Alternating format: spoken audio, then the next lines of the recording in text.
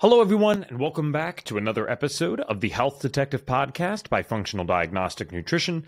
My name is Evan Transue, aka Detective Ev, and I will be your host for today's show. And we are continuing our series where we go over live lab results. Today will be a little quicker, and I will be by myself.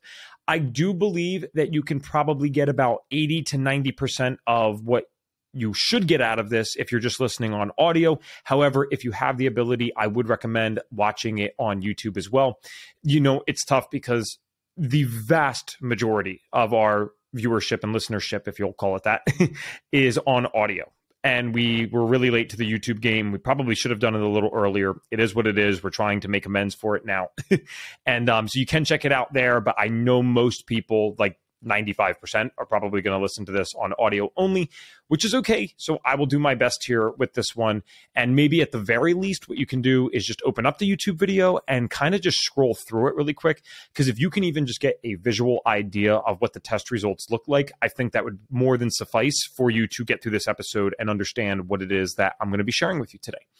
All right, what we are looking at are test results from a client of mine. It was actually someone I worked with about two years ago.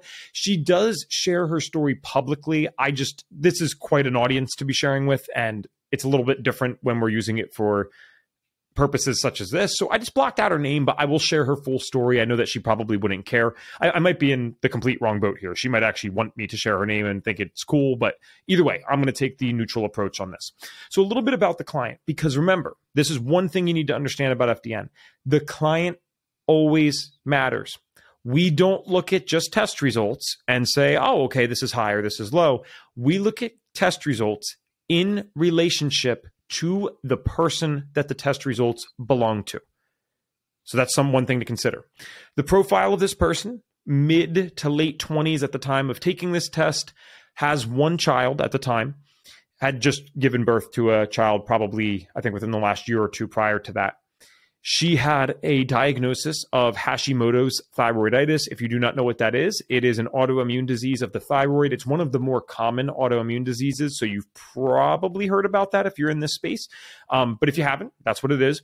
It is associated with underactive thyroid function. So this is the people who uh, might be eating 1,200 calories a day and they really cannot lose weight it might be people who feel extremely sluggish, debilitating fatigue. Their heart rate might even be really slow at times, hairs falling out. So you can almost think of hypothyroidism, which is associated with Hashimoto's, as slowing down, right? Hypothyroidism, slowing down. And then the opposite, much less common, but this was the one that my mom had, so I'll always shout it out, is Graves' disease. And this is the thyroid autoimmune condition that is associated with overactive thyroid or hyperthyroidism. So, hyper, think of everything going fast. My mom's heartbeat was 130 beats per minute sitting down. She could not keep on weight to save her life. And I know that sounds like, oh, that's a great problem to have. It's really not. Um, trust me, when it goes to that extreme, it's just as uncomfortable as the up, uh, the opposite and just racing thoughts, only sleeping three, four hours a night, whereas a Hashimoto's person might sleep for 10 to 12 hours a day and still not feel good. So it's kind of the opposite. But again, Hashimoto's thyroiditis much more common, and this is the one that this client today had. Sorry that I went off on my side note, but I'm sure you guys appreciated that. so again, late 20s, she's dealing with this. And what was interesting about her is we knew a uh, the same person, and that's how we got connected. So, what was interesting about this client is that she was someone who jumped into the functional side of things way sooner than most people do on their healing journey. When most people try to get well if they are sick, this is how it typically goes. They go to the doctor. That doesn't work out. They get put on some medications, whatever. And then over time, they realize maybe I have to take this into my own hands. And this is assuming they ever come to that conclusion slash realization ever. They might never do that, unfortunately. I have seen family members that were very intelligent people unfortunately pass away from the conditions that they dealt with because they did not ever think outside of that Western medicine paradigm. They needed something more than just what Western medicine was offering. So, assuming we even get there thinking outside the box, then we go through a cycle of trial and error. And we were probably doing that before. We say this at FDN the cycle of trial and error when you are sick and don't really know what the cause is, you're kind of going from doctor to doctor, pill to pill, maybe, maybe surgery to surgery, which is not fun at all. But it's the cycle of trial and error. And it continues into this realm of self treatment. Then it becomes trying supplement after supplement. Maybe alternative practitioner after alternative practitioner, diet after diet is a big one. And so, what was interesting is the client that I was working with went right from Western medicine to immediately like FDN level. Now, this is amazing. This is what I would love to see happen more. I mean, really, I'd love to see FDN be used as a preventative thing. That would be even better.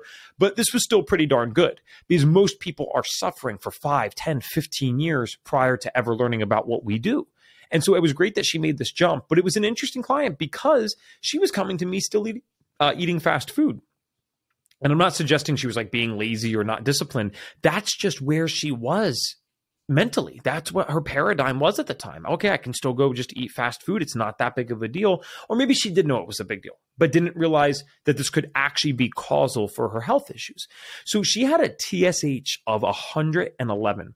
TSH is thyroid stimulating hormone. It's actually not a hormone produced by the thyroid, it's produced by the pituitary gland. And you can kind of pick it up from the name that it's not produced by the thyroid, eh, although it's tough. It's not inherently obvious, but you can kind of get some clues there because it's thyroid stimulating hormone. Obviously, in theory, I guess the thyroid could stimulate itself, but it makes a little more sense when you say it out loud. All right, thyroid stimulating hormone. Hmm, something else must be stimulating it, and it just so happens to be the pituitary gland. So the pituitary starts pumping up, pumping up, pumping up, trying to get that thyroid to work. But remember, we're hypothyroidism in this case, Hashimoto's. So we're underactive. And so the TSH goes up and up and up. Now, to put it this way, Western medicine has a TSH, uh, TSH reference range of about, I, I think it's like 0.5 to 4.5 or even 5, depending on who you talk to. And we already think as functional practitioners that 5 is a little too high. My client was 111 the highest I've ever heard of? No. There was one other person that I know that had higher, and he's been on the podcast a couple of times. His name's Ryan Monahan. You guys, if you've been long term listeners, might remember him from way back in the day. He was the first guest on, and he had it at 150, and it stopped at 150 because that's where the test maxed out. so, for all we know, it could have been 151, but it could have been a lot higher than that too. And we never will, uh, will really know because it maxed out the test. Nonetheless, when we're talking about something over 10, we're really messing with some stuff here. When you're going 111, it is astonishing that this woman that I was working with was able to get out of bed and help her kid. I think that's more of a testament to the drive that mothers have rather than a testament to her not being sick. I'm pretty sure she was pretty damn sick. So she goes to the doctor, um, figures all this stuff out, and then immediately comes to me. Now, normally in the world of FDN, what we like to do is we are going to run multiple labs at once. And typically I will do that.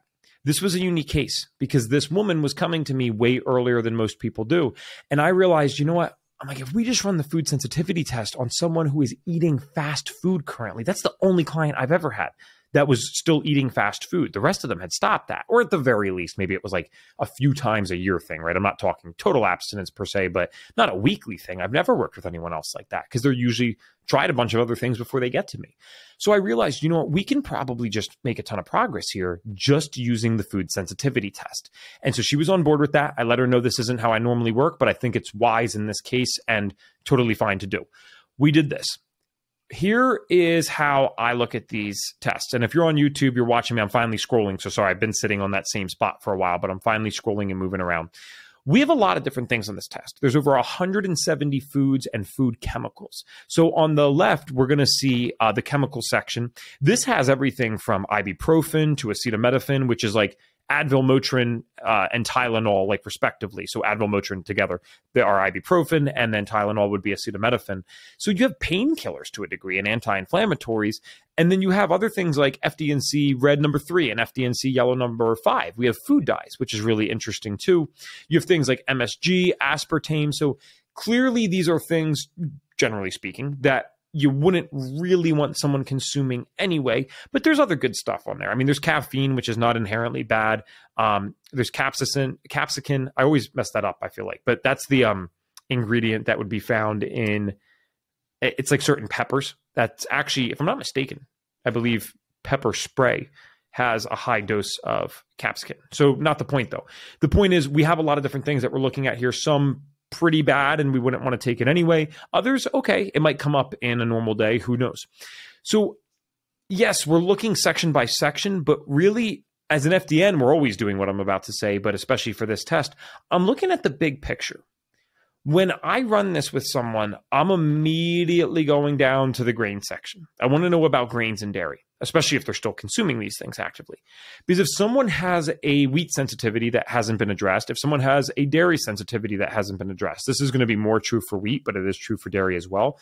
I know that this test by itself automatically was worth the entire price that they paid. And even though there's 170 things on here, if just those two alone show up, bam, it was already worth the money. And the reason is it's twofold. One, people need objective data to remove foods that are very common uh, generally speaking. You know no one really wants to just remove wheat for the sake of removing wheat. However most people are willing to make some changes in their life if you can show them something objective. And in this case, clearly we were able to do that and show her, okay, wheat was pretty sensitive and cow's milk was very sensitive. So I also should break that down. I apologize for those on audio. When we look at this test, we have three categories. We have green, which is non reactive. We have yellow, smallest category, which is considered moderately reactive. And then we have red, which is considered straight up reactive. How we interpret this as FDNs is this green generally safe, but we'll be a little careful and I'll explain how we can kind of perfect that in a moment. Yellow, we're going to want them to remove that for at least 60 days, possibly longer, and then we would introduce it slowly. Red is going to be a 90 day removal minimum until we've really healed and sealed the gut, and possibly longer. And again, we're definitely not going to want to do that every single day. We're going to kind of do that every few days tops. There are a few exceptions to that, wheat being one of them. If I see that sensitive at all, I don't care. To me, that is too severe, and that shows that you are in you know some trouble there if you're eating that food because we know wheat sensitivities are unique in that the immune response that results from them lasts much longer than most other immune responses. It can last three to six months from a size of, I don't, I don't want to say a dose, but like a size a serving size that is a tenth of the size of your thumbnail is enough to trigger an immune response three to six months down the road in someone who is sensitive to this. And that does not mean they're eating it every day. I'm saying that if I ate it today and I was, it's December uh, 5th at the time of recording this. So it's December 5th. I record this, I eat wheat today, and then I leave it be for three, six months. I don't eat any wheat. I could still be having that immune response because I am someone who's sensitive to wheat. That's crazy. So that's the one exception on this. Everything else we can kind of work with a little bit differently. How we are measuring the sensitivities on this one is also a little different. And I'd like to mention that before I continue. I should have done that probably before. On most food sensitivity tests, the major ones that you're seeing on the market, they're measuring one of a few things IgG, IgA, IgM, or maybe a combination of a few of those. That stands for immunoglobulin G, A, and M, respectively. That is important. That is one way, one of a few ways, that the body can react to a potential antigen. The potential antigen is, in this case, are the food proteins or the chemicals. So it's just a fancy word to say the things that we're reacting to when we're looking at the MRT test, which is the one that we're using today, it's called the MRT by Oxford Biomedical Labs. It's the one that we train you in in the course if you're a Canadian or American resident. I think that they have this somewhere else, but don't quote me on it. So I'm just going to say Canada and America for right now. It is patented technology. If you're watching this on YouTube, you might have actually noticed at the top right, um, you will see the US patents are actually up there. What they patented uh, patented is the technology to measure volumetric changes in the white blood cell when a potential antigen is, is exposed to the white blood cell. What does this mean?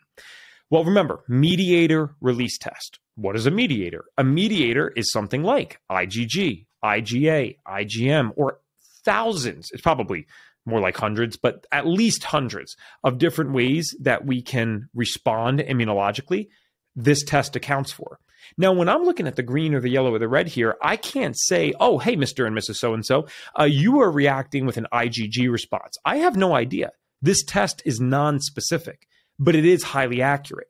In fact, at the time of recording this, they still have 93.6% replicability rates in their testing, which is phenomenal in the world of food sensitivity testing. They have been clinically shown to be highly correlated with symptom uh, symptomology. So that means if the person has symptoms, the food sensitivity test is highly correlated with those symptoms, generally speaking. It's not perfect, but generally speaking, it's pretty good for those things. So it's a great test that's the way that we're looking at this. It's a little bit different, right? So we're indirectly looking at hundreds, if not thousands, of different ways that the body can react immunologically to a food or food protein versus just one or two. It kind of becomes a no brainer then because the MRT is maybe like $100, $200 tops more expensive than the other tests on the market, except you are getting so much more like not even comparable. It's not like you're even getting three things more, you're getting hundreds more things um, looked at indirectly. So it just makes sense to use this test whenever you have access to it. There are a few cases where you'd want to use uh, different types of tests called Zoomers. We're going to have someone on in January to go over that. Um, those are specific to gluten, corn, dairy, and they have relevance. There, there's a reason that we use them. But any other time, if you have access to MRT or the technology, maybe it's licensed in other countries, I would imagine they've done that and it's under a different name, then you want to use this one because it is by far the most accurate thing that we have currently. All right, bringing this all home. So I was talking about the client and what I look for first. So I'm looking at the big picture of the test. I'm looking at, all right, do they have that wheat dairy sensitivity or both? And in this case, we have both.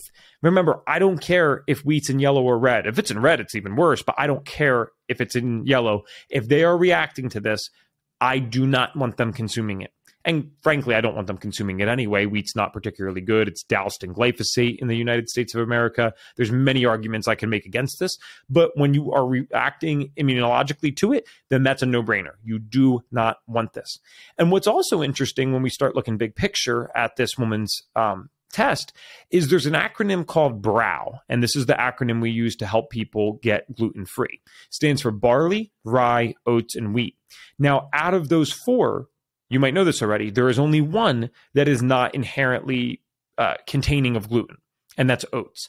The reason oats get put into the acronym of BROW, though, is because oats are the most cross contaminated food when it comes to wheat. They are typically harvested together. They might go on the same trucks. It's very, very common for oats to have um, hints of wheat in it. And so, for someone who's sensitive or allergic, you do not want to mess with this. What's interesting is when we look at her results here, we can actually see she almost uses the acronym. Her most sensitive food in the grains thing, which is off the charts almost, super high sensitivity, is barley, followed by rye, and basically tied for second is wheat. So we see three out of those four are right on top there. And of course, oats don't actually inherently have gluten. So it's kind of interesting. This to me is a woman that has a very severe gluten sensitivity, most likely. She is not doing well with this. Okay, so that's one thing. I know I just got an easy win for her and I can help her feel a lot better very quickly. And then I go down to dairy. What's interesting is they specify different types of proteins in dairy because, especially if you've been into the world of lifting, you know there's different types. There's whey, there's casein. And so that's how they're able to, it's one of the ways at least, they're able to measure the different types of dairy here. So we have cow's milk She's very sensitive to this. Cheddar cheese and American cheese in the yellow, whey, cottage cheese, yogurt, uh, goat's milk, all doing okay. When I see this, though, the problem is there's so much overlap with these products. You need the person to remove some dairy for a good amount of time there. You don't want to be messing with that too much. Uh, thank God. I mean, coffee's in the green for her, so she can keep consuming that maybe. it's a little high green, but it's okay. What we did then because remember, I'm walking you through this in the same way that I walked through this with her. So we have other things on here that she's sensitive to. We have shrimp, we have mustard seed, we have cane sugar, we have mung bean and garbanzo bean, we have tomato, which we'll get to in a moment, and we have grapefruit. But the main things are this. And so I'm asking this client, I'm if they can remove the other things, fantastic. But if I can get them started with the wheat and the dairy, they're going to feel amazing. And actually, that's what happened. So with this client, I said, Hey, so glad we ran the test. Look at these results. We found some big things here. She was amazed. This was motivating for her, totally worth the money. And what we did is we made a short term plan because I know someone like this as a practitioner, they are going to feel very good, like I said, if they get off the wheat. So I know that they need to be off wheat permanently But I just start with 30 days because they're going to feel better after the 30 days. And then it becomes kind of a self fulfilling practice. Like they are going to want to do this on their own because they notice how good they feel.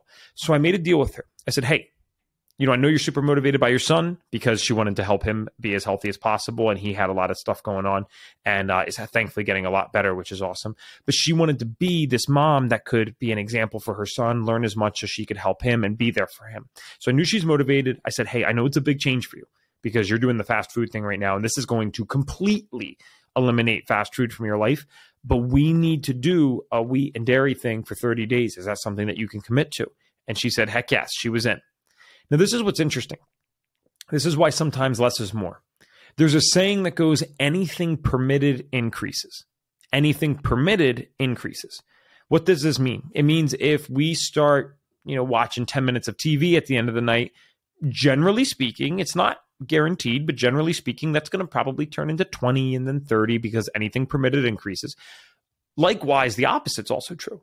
If we start going to the gym once a week, we probably have a tendency to start going two, three, even four times a week around eventually because anything permitted increases. So we just start slow. We start super slow and it's going to work for her.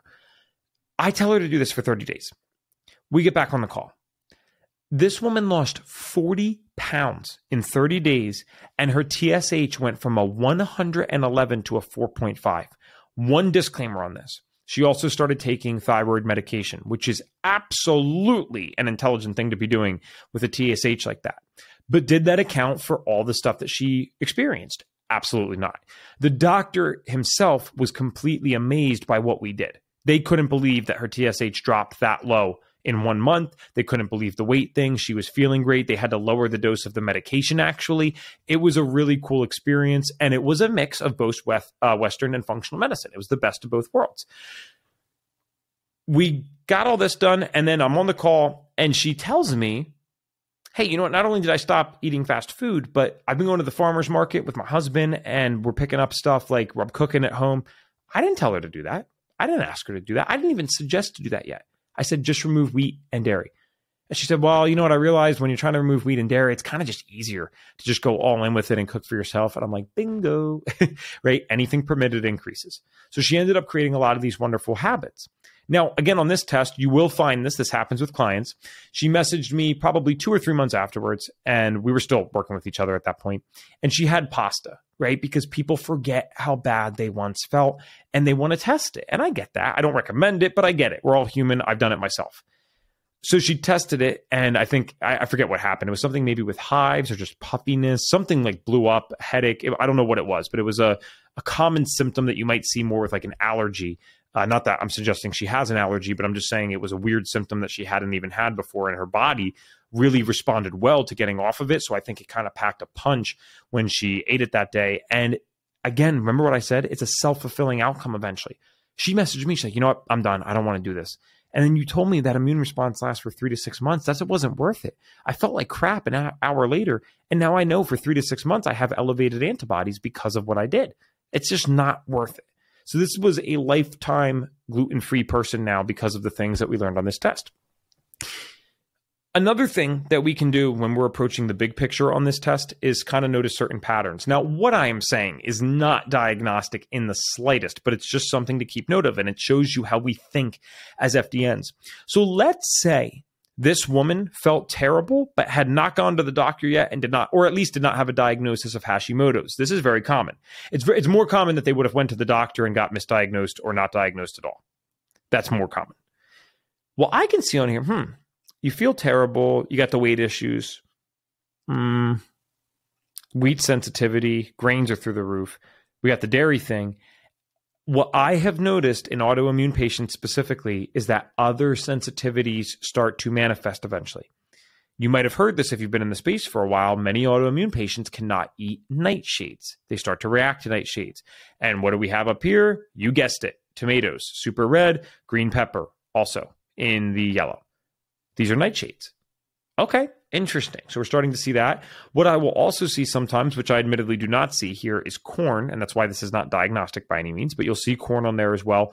If someone has been suffering for a very, very, very long time, she went pretty early to the doctor. I think her body just kind of like reacted super strong once the chain finally broke. But you know, she was good for a while. Um, but if you were sick for a while and then ran something like this, you might not only see the corn, but you can see what's called cross reactivity. This is different than cross contamination. Cross contamination is I eat the oats and there was some wheat in it. Cross reactivity is a phenomenon in the body that the body actually starts reacting to things that have a similar molecular structure to the food that it's reacting to. So normally the main culprit's wheat, and then it goes for dairy, goes for corn, it goes for cocoa a lot of the times. Um, coffee and caffeine can be on there, sugar can be on there, and we do see that she is sensitive to sugar in here. The nightshades can be on there. This is really common stuff. This is really common stuff, and it's patterns that we learn to see as FDNs, and it's patterns that you just start to pick up on the longer that you do this. So, hypothetically, if I knew that this woman felt the way that she did, but I did not have that diagnosis of Hashimoto's because no one had thought about that or no one ran the test, which again is very common, unfortunately. I'm I'm thinking about this one and I'm going to ask her, hey, maybe you know you'd like to consider running some type of autoimmune panel or getting some blood work because I, am curious about a few markers here. And of course, we would be correct. We would have seen her thyroid out of whack. Um, if you run an autoimmune panel, there's a, interesting lab by Cyrex, and you can actually see. I think it's antibodies that are correlated with like the 20 most common autoimmune diseases. Very useful test, very expensive, um, but worth it if you consider what you're actually testing. I would be running that here. I would be looking at that. So thankfully we already had it, but you know, I'd be running that here. So again, we don't want to overanalyze this test. I mean, there's only so much that we can do with this, but these are just how we uh, examples of how we think. This is how you can kind of get that big picture idea. There's one other thing I wanted to show you guys today though. And it's this program at the bottom. And so you'll see the word LEAP if you're looking on YouTube. It just means lifestyle, eating, and performance. It's kind of like the consumer um, facing brand for Oxford Biomedical Labs because they get very technical. They're very sciency. If you go to their website, I mean, it's total nerd stuff. It's stuff that we like, but the average consumer might be really overwhelmed by or confused by. I like this protocol that they provide you at the bottom. This is provided to every single person that runs the test. It is included in the cost. It's not something that many FDNs use. It's not something that many practitioners use. And I don't blame them. I get why it's complicated. There's there's a few reasons that we'll go over. But if you have the ability to do it or the discipline to do it, I have seen high levels of um, good results with this. So you have phase one, phase two, phase three, phase four, phase five, and then there's something after that, which we'll touch on in a moment. The reason this is different for every single person, like your MRT phase one would be different than my MRT phase one. What it is doing is it's trying to perfect that missing percentage. Remember, I said this test has 93.6% replicability rates. Well, what about the other 6.4%? This is how they try to perfect it. Now, what's tough is when we have an immune response from a food, it doesn't always manifest into something noticeable. It usually does. It doesn't always manifest into something noticeable. These people might not understand that something's happening to them, even if they're sensitive to the food. So, assuming that we get lucky and they do feel uh, off or just not as good as they normally do, or have a direct symptom like a headache, rash, or whatever, this is when this can be particularly useful. Phase one are the foods that the person was least sensitive to, and they do take all the groups. So, they take the least sensitive things out of all the groups. You see proteins at the top, then we have starches and grains, vegetables, fruits, dairy, nuts, seeds, oils, and flavor enhancers is what they call the other section. Okay, so this works well in this case, honestly, because it's only for seven days. It's days one through seven. You can eat any of the foods on this list.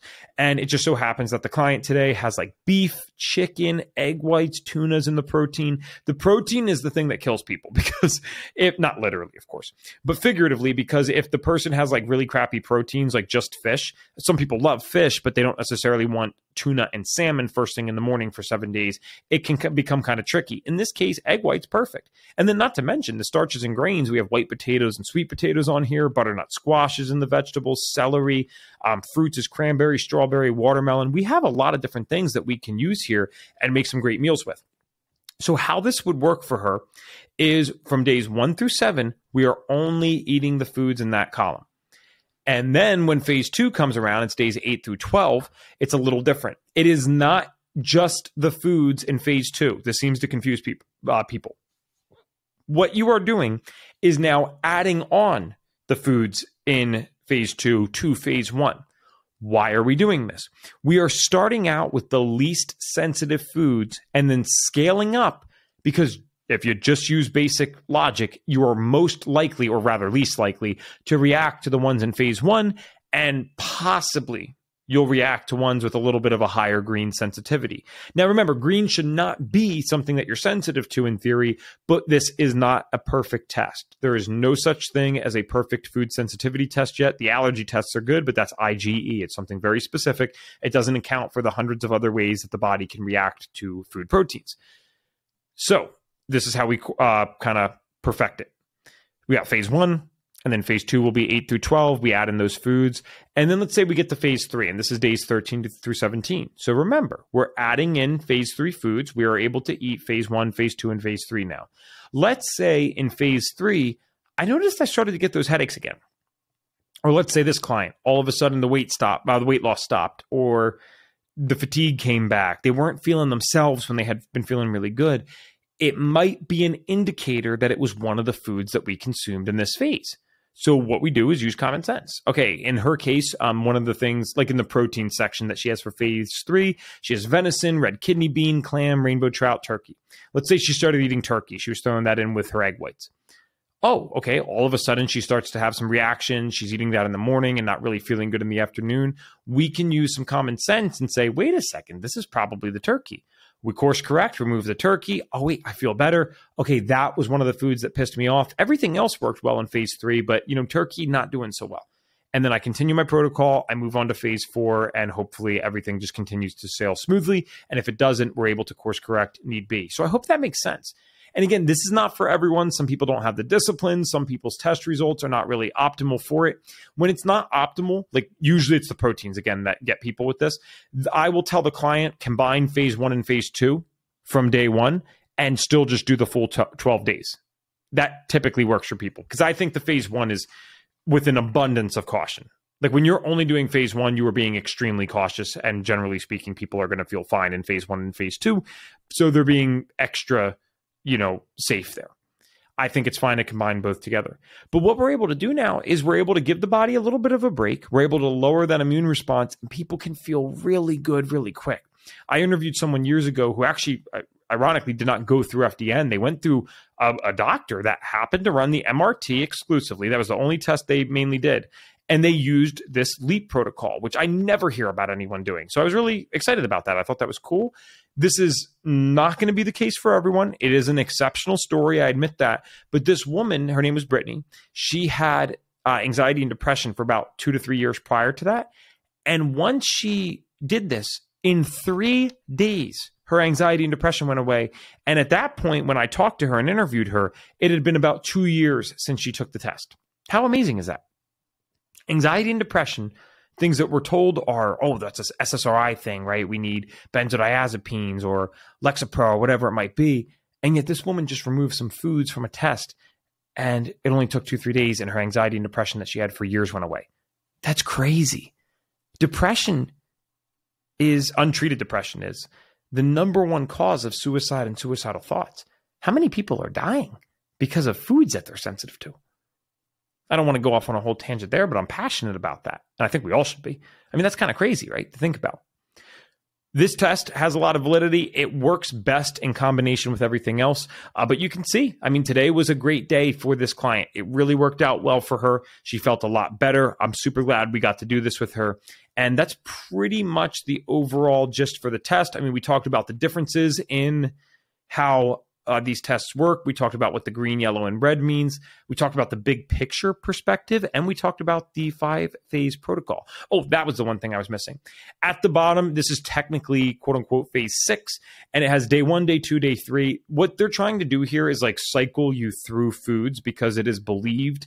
I think it's even known, but it is partially believed that if you consume foods more often, you are more likely to become sensitive or just generally reactive to them.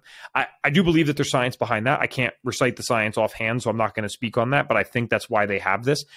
I've never really had anyone do it. I don't think it's 100% necessary, but the five phase thing is definitely an easy win for someone. If you want to make someone feel great fast, they run this test they go through phase one, phase two at the very least, and they're going to feel a lot better. If you have any questions, you can reach out to us, drop a comment on YouTube, or you can comment to our podcast on Podbean. And we will be back soon, either with another interview or maybe analyzing some more lab results. I'm not sure what's next, but it's going to be fun either way. Thank you guys so much for listening, and I'll talk to you again soon.